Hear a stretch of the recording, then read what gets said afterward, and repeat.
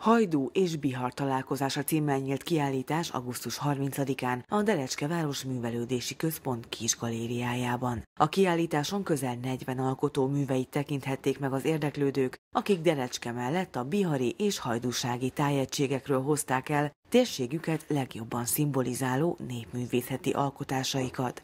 A kiállítás a Nemzeti Kulturális Alap pályázata jóvoltából, valamint a Bihari Népművészeti Egyesület és a Tímárház közreműködésének köszönhetően jött létre, tudtuk meg Pardi Sándortól, a kiállítás főszervezőjétől, aki a tárlaton bemutatásra került népművészeti alkotásokról és műfajokról is beszélt televíziónknak. Az építés során kiderült, hogy 40 alkotó munkái szerepelnek. Nyilván az is cél volt, hogy minél többféle népi iparművészeti alkotás, vagy műfajt tudjunk bemutatni. Van köztük szűrátét, úri hímzés, nemez, faragás, szalmafonás, kovás munka, bőrös munka, tehát egy csomó olyan dolog, amiben jeleskednek az itteni alkotók. Illetve a megyébe ez egy válogatás, mert hát e, e, a mi termünk erre csak egy válogatás szintű anyagot tud bemutatni, nagyobbat nem. A kiállításon Derecske legnívósabb alkotómesterei is képviseltették magukat kiváló munkájukkal. Városunkban számos népművészeti stílus gyakorlata fennmaradt az évek során, úgy mint a szűrátét készítés és kosárfonás, de számos népművészeti alkotóforma képviselője is megtalálható városunkban. Az, ami alapból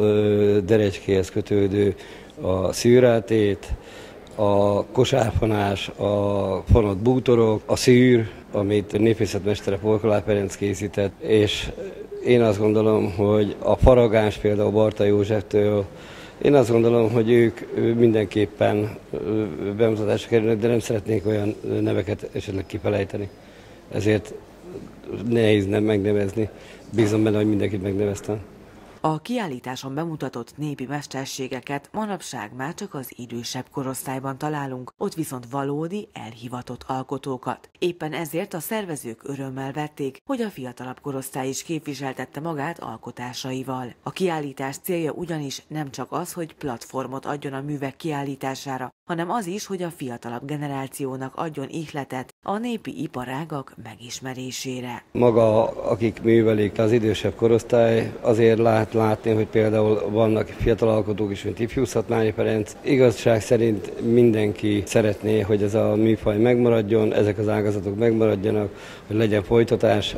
Ezért is van az, hogy ezek a kiállítások segítenek abba a következő generációkat is megismertetni, hogy milyen tevékenységek folynak, és ha esetleg kedve kapnak egy ilyen kiállítás megnézése kapcsán, akkor én azt gondolom, hogy ez egy mindenkinek egy olyan lehetőség, hogy láthassa, hogy mik a saját értékei, és hogy mi az a számára az a vonzó műfaj, amit esetleg majd későbbiek folyamán művelne. Bízunk benne, hogy, hogy egy ilyen lehetőséget is teremt ez a kiállítás. A vendégeket Parti Sándor köszöntötte, majd Vészatmári Ibolya néprajzkutató és etnográfus nyitotta meg a tárlatot.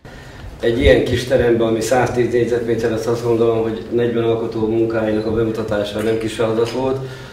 Ebben nagyon nagy segítséget adott Tóth a Göncélé az építésében.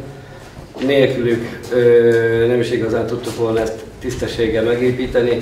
Nagyon sokat segített a Bihari Népművészeti Egyesület, akinek külön köszönet Kolozsvár Istványéknak.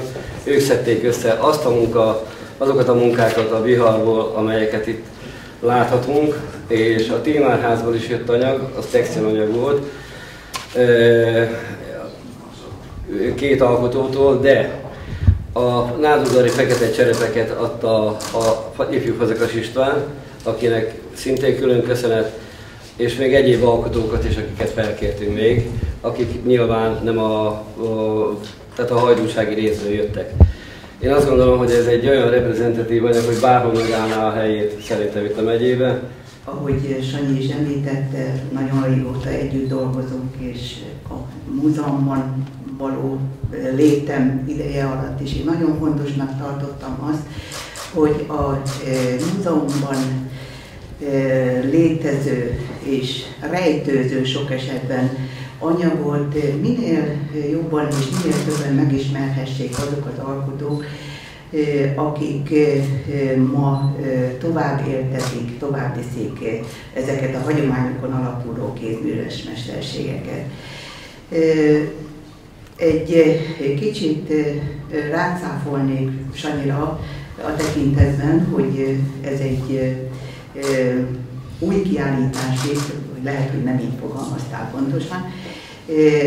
Én azt szeretném nagyon kiemelni, hogy a Derecskei Művelődési Ház már évtizedek óta a kézműves körrel, a, ugye ez a pontos vér, karöltve felvállalt egy olyan missziót, ami szerintem párjátékítja és egyedülálló a térségünkben, de talán egész Magyarország, kis és nagy Magyarország területén is, hiszen minden évben megrendeznek egy olyan kiállítást, évvégén adventi kiállítás és vásár címen, ami teret ad a térségben, elsősorban itt a Derecskén alkotó kézművesek munkáinak bemutatására, bemutatkozására.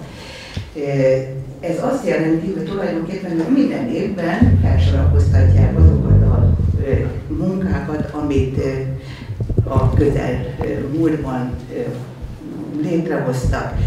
Így folyamatosan tudjuk követni azokat az eredményeket és munkákat, amit ők elértek itt Derecskén és a térségben. Igaz, abban viszont igaza van Sanyinak, hogy ilyen átfogó, nem csak a szűkebb régióra vonatkozó bemutató, egész Hajdúbihar megyére kiterjedő bemutató valóban még nem volt. Nagy örömmel nyitom meg a kiállítást.